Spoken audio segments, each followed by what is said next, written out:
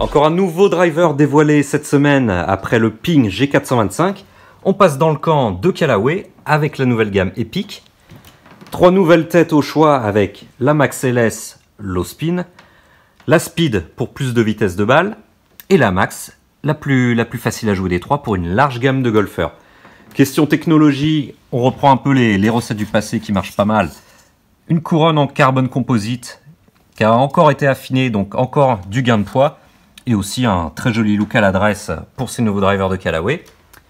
La flash face qui a été conçue pour chaque driver, en l'occurrence la flash face ici du driver max la plus facile à jouer des trois pour des joueurs 20, 30, 40 d'ADEX qui ont tendance à centrer la balle sur le talon. Donc c'est ici que la face est la plus musclée.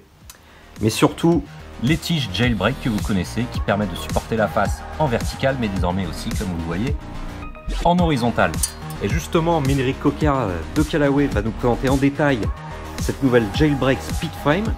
Et on se retrouve tout de suite après pour parler des performances produits de ces nouveaux Epic.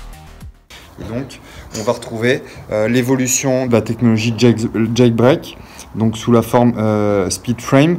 Donc en gros, on va venir doubler ce qu'on avait auparavant sur la technologie Jailbreak. On va se retrouver avec quatre points d'ancrage à la fois sous la semelle et à la fois euh, au niveau de la couronne.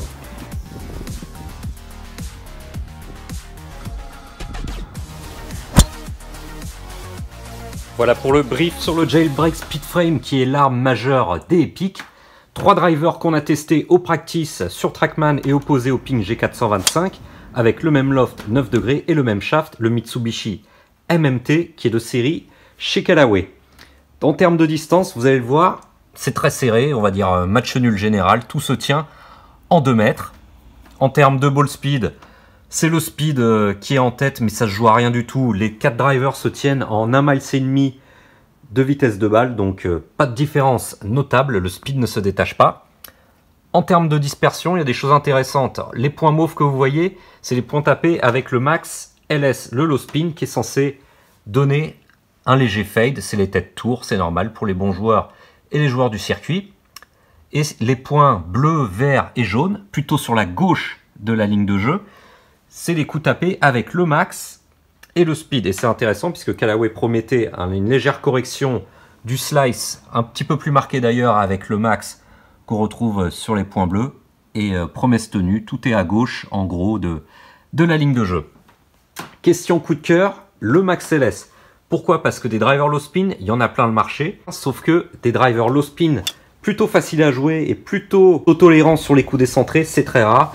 Et le Max LS y arrive très bien. C'est d'ailleurs pour ça qu'il s'appelle Max. Et on a vraiment un, beau mix entre spin bas, contrôle des trajectoires, une bonne vitesse de balle et surtout euh, un peu de pardon sur les mauvais coups.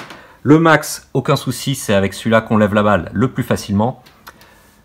Celui des trois qui m'a le moins plu, on va dire que c'est le speed. Le son est un petit peu plus étouffé à l'impact. Et on n'a pas vraiment de gain en vitesse de balle, on l'a vu euh, tout à l'heure. Mais bon, c'est pas le driver qui m'a le plus séduit des trois à, l'adresse. Le Max LS et le Max sont beaucoup plus, euh, beaucoup plus agréables et beaucoup plus sexy, on va dire. Voilà, en somme, on a trois drivers très proches les, uns des autres et qui couvrent une large gamme de golfeurs. Donc n'hésitez pas à aller vous faire fitter dessus de, à partir du 18 février. Il y en a bien un des trois qui devrait vous convenir.